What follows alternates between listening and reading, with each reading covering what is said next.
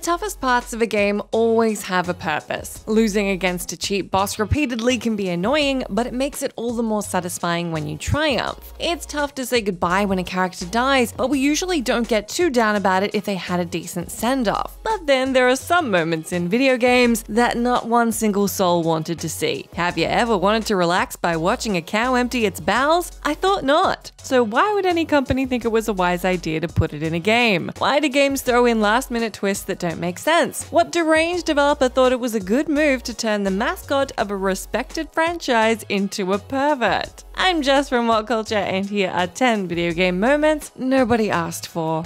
Number 10 Your Wife is Your Arm, Bionic Commando.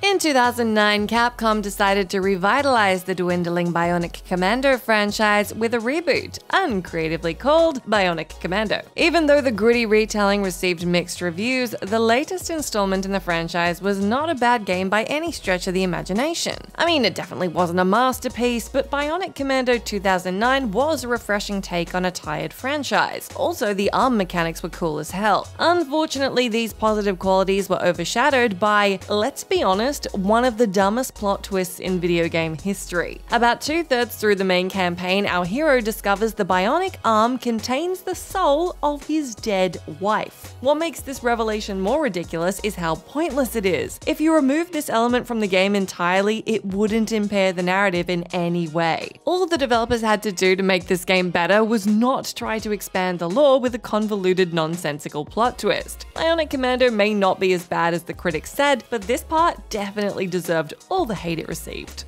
Number 9. Watching Sarah Die The Walking Dead Season 2. Throughout The Walking Dead Season 2, one of the only characters that shows Clementine some kindness is a teenager called Sarah. Because Sarah suffers an anxiety disorder and is pretty oblivious to the zombie apocalypse, a lot of players find her naive and annoying. However, her behavior isn't her fault since her father forced her to live a sheltered life to protect her from the horrors of the world. Sadly, raising Sarah this way became her undoing. After her dad is killed, Sarah begins to mentally shut down. Not only is she unable to function socially, she's in utter denial that her father is gone. Even though The Walking Dead has never had any qualms with killing off characters, no matter how innocent they are, you really don't want to see Sarah go. So when a horde of walkers surround her, you hope Sarah will snap out of her current state and take better control of her life. Instead, she lies paralyzed, screaming out for her dad to save her while zombies tear her apart. Whether she yelled daddy out of instinct or because she genuinely thought her father would protect her despite being dead, it's a truly heart wrenching scene. Number 8. A cow takes a dump, Conker's Bad Fur Day. Changing tracks entirely, when the trailer for 12 Tales Conker 64 was unveiled, it was criticized for being another cutesy platformer from Rare, in the same vein as Banjo Kazooie and Donkey Kong 64. Rare took this critique to heart, encouraging them to revise this adorable game into a mature rated platformer called Conker's Bad Fur Day, which included swearing beetles, Nazi teddy bears, and bees humping busty flowers. Although the crass humor could have massively backfired, it became the game's greatest selling point. Even if you took all the crude jokes out, Conker was still a great game in its own right, due to its catchy music, creative puzzles, and impressive voice acting. But that doesn't mean everything in the game worked. At one point, you have to watch a cow taking a gargantuan sized crap. Now, we don't want to criticize toilet humor, fighting the great mighty poo is the funniest part of the game. Also, we knew what we were getting ourselves into when we bought Conker's Bad Fur Day. We wanted to see cute characters swearing, and we enjoyed bashing the boiler and his brass balls. But nobody on the planet wants to watch a farm animal take a diarrhea induced dump. Number 7. Everyone had amnesia. Final Fantasy VIII.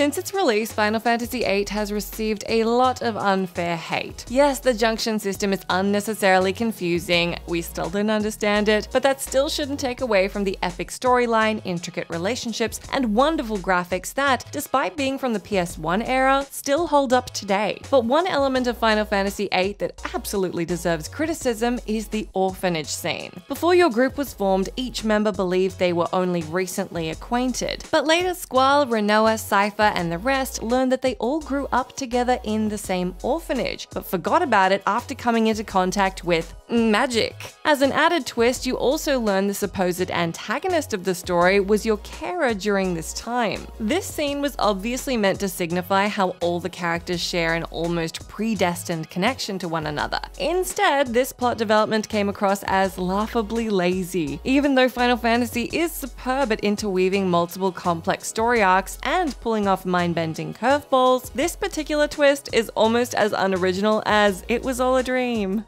Number 6. That Damn Dam Teenage Mutant Ninja Turtles. Teenage Mutant Ninja Turtles has had its fair share of great games Tournament Fighters, the Hyperstone Heist, and who could forget about Turtles in Time? But since TMNT on the NES was the first video game adaptation of the beloved cartoon and comic, it has a very important place in many gamers' hearts. Millions of people have very fond memories of this gem, and one very particularly bad memory. In the underwater level, the turtles must swim through the Hudson River to disarm a series of bombs. Throughout this area, you need to navigate through electrical seaweed, which cuts your health to almost nothing if you're not pixel perfect with your movements. Just to make this section more maddening, you have an unreasonable time limit. If the timer hits zero, it's game over. This compels the player to panic while paddling around the seaweed, making it more likely you'll get yourself killed. This level is so infuriating it overshadows every other aspect, to the point where most people can't remember anything else about the game. Seriously, can you recall anything else about this NES title? Even if you fail to remember the other levels, enemies, bosses, or the game's layout, there's no question this underwater section is burned into your mind forever. Number 5. Fuzzy Pickles Earthbound Throughout Earthbound, our hero Ness encounters some peculiar characters. On your travels, you'll also regularly bump into a quirky chap called the Cameraman. Every now and then, this eccentric photographer will drop from the sky and ask if he can snap a picture of Ness. As he takes the photo, he asks Ness to say fuzzy pickles instead of cheese. With that done, he launches himself into the heavens, allowing you to continue on your journey. This moment is so random, you can't help but laugh the first time it happens. But then the cameraman pops up later and he does this silly bit again and again and again. Throughout the game, the cameraman does this little routine 32 times. And guess what? You can't skip it. Believe us, we tried. What's annoying is this moment would have been fine if it happened once or twice, but because it happens over and over, usually when you're rushing to an important destination, it ends up hampering the gaming experience. Number 4. Fi keeps interrupting The Legend of Zelda Skyward Sword. Link's helper in The Legend of Zelda Skyward Sword Fi accomplished something that many thought was inconceivable. She's more annoying than Link's partner in Ocarina of Time, Navi. That's right, Fi managed to out Navi Navi. Every time you go anywhere, use an item, or move, Fi pops out like Clippy on steroids to give you unhelpful advice. If you reach a locked door, Fi will tell you you can't open it. You already knew this because that's how locked doors work. She regularly says something like, I calculate a 90% chance of success or this has a 70% chance of working. But because these statistics are completely inaccurate, there's no reason why she keeps mentioning them. What's worse is that every other aspect of Fi is amazing. Her backstory is fascinating, her theme song is beautiful, her design is unique. The way she dances with the grace of an ice skater during cutscenes is enchanting. But since Fi is only remembered for her relentless interruptions, you forget everything else about her. If her chronic nagging was removed, Fi would probably be viewed as among the best characters in the entire series. Number 3. Mega Man the Pervert Mega Man Legends 2 even though Mega Man Legends 2 improved on its successor in every way, there was one bit that was very, very unneeded. At one point, Mega Man's partner Roll takes a bath. During this period, the player can choose to walk in and check Roll out. After the blue bomber enters, Roll will scream in anger, coaxing him to dash out. Now, the whole walk into a room while someone is changing bit has been done to death. Even though the idea can be creepy, the character usually doesn't come across as a peeping Tom if it was a genuine mistake. But since Mega Man voluntarily walks into the room when Roll told him she was in the tub, you can't help but see our hero as a perv. Mega also raises his fist in the air while a triumphant jingle plays in the background as he emerges from the bathroom, as if his actions are something to be oh so proud of. What makes this sequence more disturbing is how Mega Man and Roll are usually perceived as siblings in the franchise. That may not be the case here, but it doesn't make Mega's behavior any less unnerving.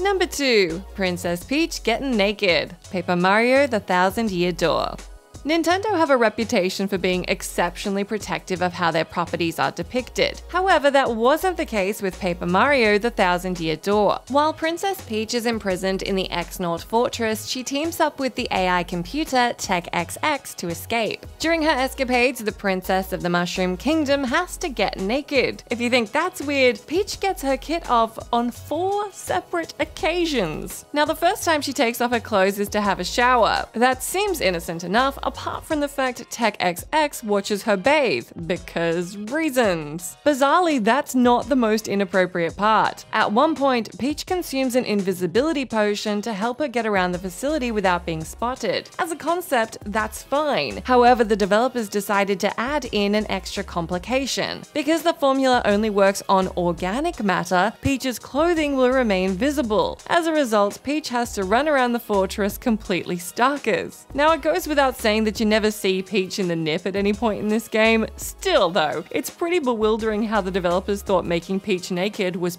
pivotal to the plot. Number 1. The End The Last of Us Part 2 Warning, huge spoilers ahead for The Last of Us Part 2, as you can probably tell from the fact that I said the end and then the game name, okay? So you can run off if you need to, but here we go. The bonding between Joel and Ellie in The Last of Us felt so utterly real and fervent, thanks to the talents of the performers and the script writers. Because we fell in love with these characters, gamers couldn't wait to get their hands on The Last of Us Part 2 and watch the pair rekindle their friendship. However, many players were shocked to learn Joel is barely in the sequel. In fact, you don't don't him at all, save for the prologue. Sadly, what is to come is far more jaw-dropping. After Joel is confronted by Abby, he's brutally beaten to death with a golf club. After watching this beloved character having his head caved in like a melon, there's only one thing on the player's mind revenge. Killing Abby won't bring Joel back, but it will give you closure, knowing his killer got her comeuppance. But when Ellie confronts Abby in the climax, expectations are subverted once again. Just as it looks like the pair are about to kill each other, the two ladies go their separate ways. Although a lot of fans did enjoy the ambiguity of this scene and the suggestion that Ellie realized that violence wasn't going to solve the pain she was feeling, many others were outraged, believing they'd lost their chance to avenge Joel forever. That is the end of our list, but do let me know down in that comment section if you can think of any other video game moments you reckon absolutely nobody asked for, but we got anyway. As always, I've been Jess from What Culture. Thank you so much for hanging out with me. If you like, you can come say hi to me on my Twitter account where I'm at Jess McDonald, but make sure you stay tuned to us here for plenty more gaming goodness.